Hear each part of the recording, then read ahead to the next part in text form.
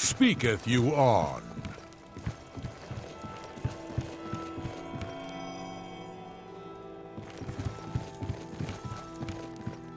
Ah, you are from the Fighters Guild, I resume. Good show. I am Lord Rugdumph gro-Shurgak. Let us conversate on the Lady Rogbut. I am Lord Rugdumph gro-Shurgak. How may I persist you? I fear that while stout rock picking, she was apprehensive, stolen away. My suspension is that ogres have objected her.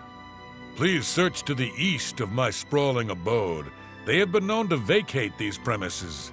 I am most gracious and truly woeful. Please rescue my daughter from those brutes. I fear for her safe return. Horrible creatures, replete with horror and evil.